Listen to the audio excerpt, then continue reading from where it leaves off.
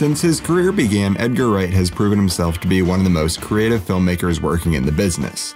Looking back to his earliest work, his style, technique, and presence has always been felt. And that comes from his great use of music, clever editing, homages to early cinema, and most importantly, creative ways to make overused tropes feel fresh. But where I feel like he is always improving from film to film is in his storytelling, how he develops characters, introduces information, and creates conflict. For my money, his latest film, Baby Driver, manages to do this the best. The film can be split into two different types of scenes the chase scenes and the other scenes. And what's so impressive about Baby Driver is how Wright manages to tell the vast majority of the story and introduce a lot of the characters exclusively through the chase scenes. In preparation for this video, I ended up reading the screenplay. And the first thing that stuck out to me is how sparse the dialogue is. It's something that you hardly notice when watching the movie, but there are sections of the script often four or five pages long where the dialogue is non existent. Here are the first four pages of the screenplay. It takes us up through the first heist into the opening credits. The only spoken words don't come from any character, instead, from the song. In fact, the only line of dialogue in the first six minutes of the movie is. Despite that, the movie never feels like it's being held back. Already from the opening, we have a pretty good idea of who our protagonist is. First, he isn't anything like the people that he drives. There is a huge contrast between our regular looking protagonist and the rough looking criminals he associates with. He is also opposed to violence, which is why he chooses not to look into the bank.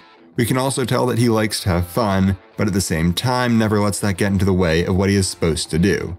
And most importantly, we learn that he can drive, and that he can drive well. All this is conveyed to us visually.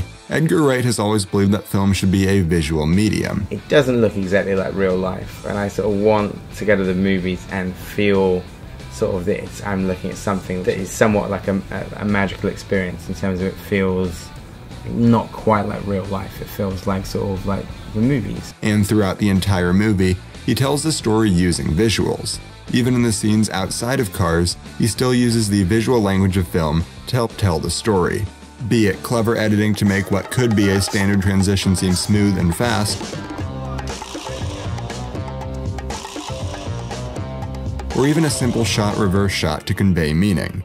And what's important to note about all these techniques is that they're nothing advanced. He's using the fundamentals of narrative filmmaking in order to tell the story. These are techniques that have literally been used for over a hundred years. Despite that, Wright always finds new ways to use old techniques. And I think that's what we should take away from this, is that there are no rules for filmmaking. There are some things that consistently work, but that doesn't mean they always have to be followed. And Baby Driver shows us that by tweaking those, you can still come away with a great film. During the second heist, we continue to learn about Baby, but also start to get to know some of the other characters. The most important thing that it shows us is Baby's moral compass.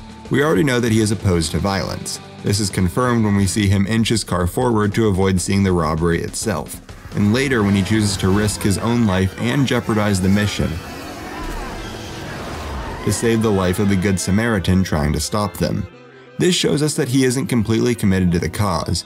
He does what is asked of him, but ultimately, he is in charge. After the second heist, but before preparation for the third one, we get another sequence with limited dialogue we watch him and Deborah falling in love. Wright does a lot to separate slower scenes like this from the chase scenes. The rapid fire editing synced to loud rock and roll music is instead replaced with long sweeping camera takes set to much slower classical music. This serves to build contrast between the world he wants to be a part of and the one that he is forced to be a part of. In between these heists, he wants to get away, to leave his old life behind, and to start a new one. The trouble is, that's easier said than done. During preparation for the heist, Wright breaks another rule. Up to this point, we have been following Baby exclusively. Whatever he sees, we see, and whatever he misses, we miss. And thereby, like the whole movie, you essentially sort of see the movie through his eyes and you hear it through his ears. While buying guns from the butcher, this changes. The camera is no longer exclusively on Baby. We also follow Bats, Buddy, and Darling. This shows that his world is starting to fall apart. The control that he had earlier is starting to slip away, but instead of trying to run, he needs to face his problems. Just on a quick side note, if you want to know how great the use of music in this movie is, pay attention to the song that is being played earlier.